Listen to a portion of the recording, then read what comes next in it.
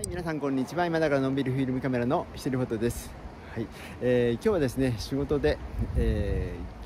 ー中山道奈良井宿に来ています。ということで今日はどんな動画を作ろうかという思いまして、えー先日ですね、ハードオフジャンク、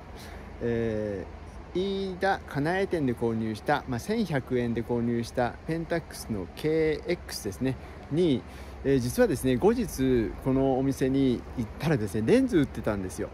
でこれ、えーペンタックス SMC ペンタックス DAL の1855なんですけれどもこれもね、えー実は550円で売ってたんですね。おそらくこのカメラとレンズセットで販売されていたと思うんですけれども、まあたまたま私があの1100円で購入した時にこのレンズの方をがあるのをね、えー見過ごしていたんだと思います。ということで、まあ、このレンズとカメラ合わせて1650円のセットでこの七井軸のスナップ写真を撮って歩こうと思います、まあ、本当にあの標準のレンズです。で、えーできるだけ標準の形で、えー撮影を、えーして、まあ、動画にしたいみたいなと思っています。はいそれでは最後までご覧ください。